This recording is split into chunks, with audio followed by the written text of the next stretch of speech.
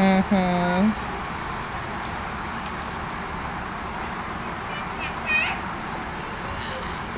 I should have brought this chair to the beach. Yeah, Hurricane Hanna's heading right to Hilton Head. Is it a hurricane now? Yeah, this is a category one. Weed